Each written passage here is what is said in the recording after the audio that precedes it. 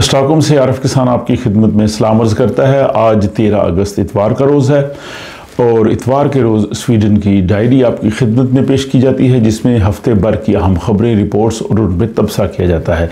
तो पहली खबर यह है कि कोविड 19 कोरोना वायरस की एक नई किस्म स्वीडन में दरियाफ्त हुई है। इसका नाम एरिस है और इसमें 30 अफराद में ये वायरस पाया गया है और इसकी अलामत जो है वो ज़्यादा शदीद नोयत की नहीं है। और इस हवाले से यहाँ पे महकमा सेहत के हुकाम ने कहा है कि इसकी दरियाफ्त के बाद भी कोई नई यहाँ पे हंगामी जो इकदाम हैं वो नहीं किए जा रहे। उसके बाद यह है कि यहाँ पे जो पेट्रोल की कीमतें हैं, वो बुलंद तरीन सतह पे पहुँच गई हैं और पेट्रोल की यहाँ पे जो नई कीमत इक्कीस अशारिया सिफर चार स्वीडिश क्रोना जो है वो देखने को मिली है, जबकि डीज़ल की प्राइस इससे भी ज़्यादा है। डीज़ल की कीमत यहाँ एक लीटर की स्वीडन में चौबीस अशारिया पाँच एक स्वीडिश क्रोन है। इसमें एक वजह यह भी हो सकती है कि स्वीडिश क्रोन जो है उसकी शरह तबादला डॉलर और यूरो के मुकाबले में कम है। स्वीडिश क्रोना कमज़ोर है तो ज़ाहिर उसकी वजह से ये प्राइसेस ज़्यादा हो सकती हैं। स्वीडन में अफसोसनाक कुरान सोजी के वाक़ात के बाद दुनिया में काफ़ी रद्दमल हुआ। आपको पता है कि तुर्की में भी स्वीडिश सफारत खाने के बाद एक अफसोसनाक वाक़ हुआ। और अब लिबनान में के दारकूमत बेरूत में स्वीडिश सफारत खाने पर एक जो है वो धमाका खेज मादा फेंका गया। उससे नुकसान तो कोई नहीं हुआ, लेकिन इससे जो है वो एक तशवीश की लहर दौड़ गई, जिसके बारे में स्वीडिश वज़ीर खारजा तोबियस मिस्त्रोम ने भी जो है वो बयान जारी किया है। उसके बाद यह है कि इस हफ़्ते में स्वीडन के बहुत से इलाकों में शदीद बारिशों की वजह से जो है वहाँ पे सैलाबी सूरत हाल पैदा हुई है। आमदरफ्त के जो है वो मसाइल भी पैदा हुए हैं। बहुत सी जो रेल गाड़ियाँ हैं, उनकी आमदरफ्त जो है, उसमें भी जो है वो काफ़ी ज़्यादा खलल जो है वाक़ हुआ है। और जो घरों की कीमतें हैं यहाँ पे, उनमें कमी का रुझान रहा है और इस हवाले से जो है वो बहुत से लोगों का ये कहना है कि ये समर के बाद शायद कुछ कीमतें मुस्तकम हों। जिन लोगों ने घर ख़रीदने हैं, उनके लिए तो एक अच्छा मौका है। लेकिन दूसरी जानब यह है कि इंटरेस्ट रेट थोड़ा ज़्यादा है। और जिन लोगों ने फ़रोख्त करने हैं, उनके लिए ये शायद अभी अच्छा वक्त नहीं है। उनको शायद थोड़ा सा इंतज़ार करना चाहिए। और इसी तरह जो यहाँ पे अफरात ज़र है यानी जो इन्फ्लेशन है, खाने पीने की चीज़ें, या दूसरी चीज़ों की जो कीमतें हैं, उनमें जो है इजाफे का रुझान रहा है। जुलाई के महीने में मामूली सा इजाफा हुआ ये सिफर अशारिया दो फ़ीसद है। और ज़्यादातर जिन चीज़ों की कीमतों में इजाफे का रुझान रहा है, उनमें सब्ज़ियाँ हैं, फल हैं चॉकलेट ड्रिंक्स वगैरह हैं। और आने वाले दिनों में जैतून के तेल की कीमतों में बहुत ज़्यादा इजाफा हो सकता है। और ये इजाफा 15 से 30 फ़ीसद तक हो सकता है। यानी जो अभी 100 करोड़ का अगर जैतून का तेल मिलेगा, वो 130 में मिलेगा। और इसकी वजह कि इस मौसम गर्मा में शदीद गर्मी पड़ी है, स्पेन में वहाँ खुश्क साली हुई है, और उसकी वजह से जैतून की पैदावार कम हुई है। और इस, उसका जो नतीजा है वो जैतून के तेल की कीमतों में इजाफे की सूरत में निकलेगा। अभी जो ताज़ा तरीन अदाद शुमार आए हैं, स्वीडन में जो लोग हुकूमत की जानब से माली इमदाद मिलती है, जिसको सोशल बेनिफिट्स कहते हैं, उन पे गुजारा करने का रुझान कम हुआ है और उसकी वजह, यहाँ के जो सख्त गिर कवानीन है, उसकी वजह से कम लोग जो है वो सोशल पे हैं। इस वक्त जून में जिन लोगों का दारो मदार हुकूमत की जानब से सोशल की इमदाद पे था, उनकी तादाद एक लाख दस हज़ार के करीब बताई जाती है। और इसके बाद यह है कि स्वीडन में जो है वो तोानाई के बहरान पे काबू पाने के लिए हुकूमत कोशिश कर रही है और यहाँ पे माहौलियात की वज़ीर ने यह कहा है कि जो है वो आइंदा 20 सालों का हमने मंसूबा बनाया है, जिसमें स्वीडन में जो तोानाई पैदा होती है, बिजली वगैरह, इसकी जो तादाद है, उसमें तीन गुना ज़्यादा इजाफा हो जाएगा और दस नए एटमी बिजली घर बनाए जा रहे हैं। इससे ज़्यादा वो बना नहीं सकती इसमें भी कुछ कानून साजी का मसला होता है। बहरहाल दस नए एटमी बिजली घर जो हैं, वो बनने से स्वीडन में एनर्जी का बहरान और जो है वो बेहतर हो जाएगा।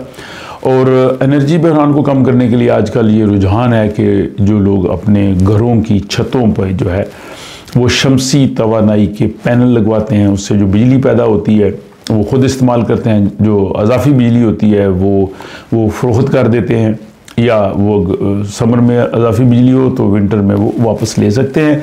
लेकिन कुछ इलाकों में स्वीडन की अफवाज की जानब से घरों की छतों पे सोलर पैनल जो लगाए जाते हैं, उन पे पाबंदी लगाई जा रही है। खसूस जो गोतलांद का इलाका है, सरहदी इलाके हैं, क्योंकि इससे हवाई जहाज़ों की जो आमदोरफ्त है, उनमें जो मवासलाती जो रबता है, उसमें खलल पड़ता है।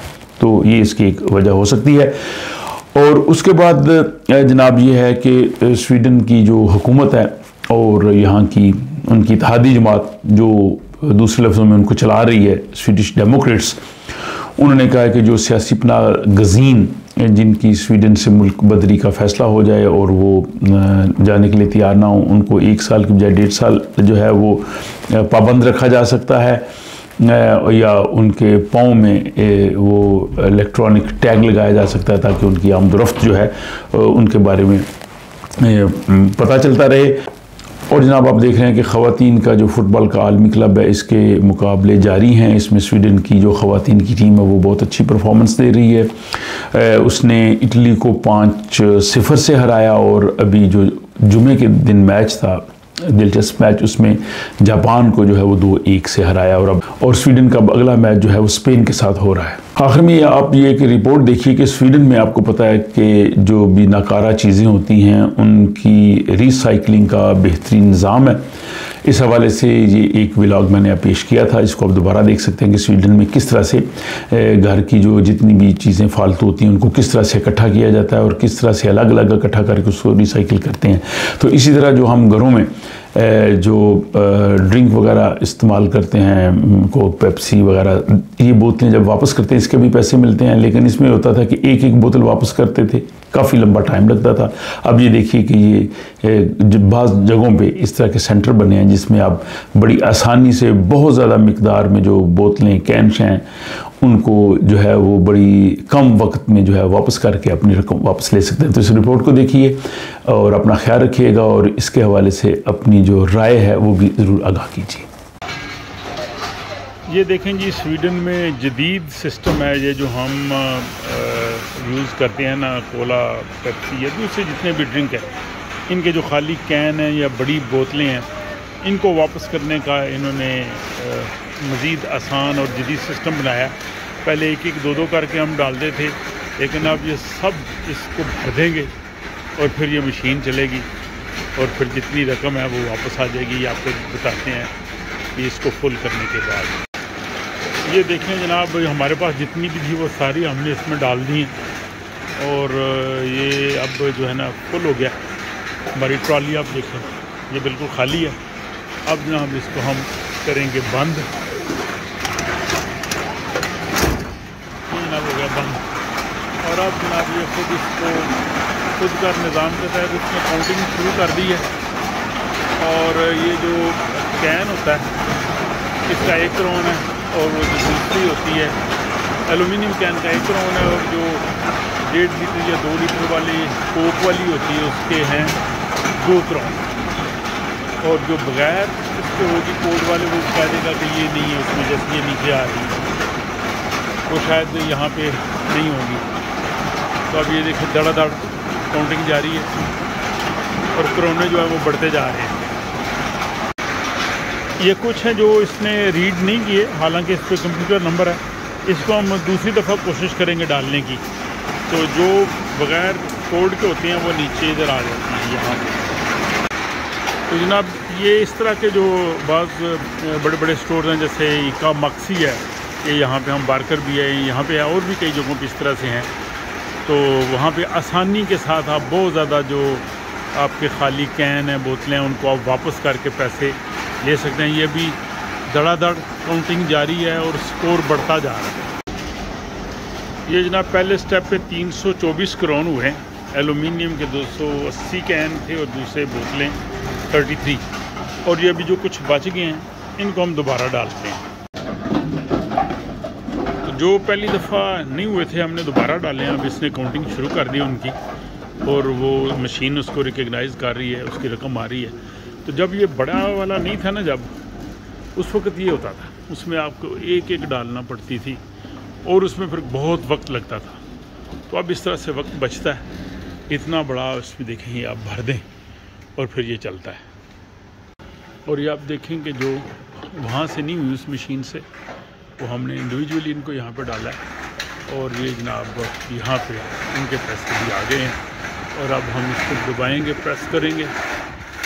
तो हमें जनाब ये रसीद मिल गई। तो इस तरह से ये आप यहाँ पे बड़ी आसानी से इन चीज़ों को कर सकते हैं इस्तेमाल।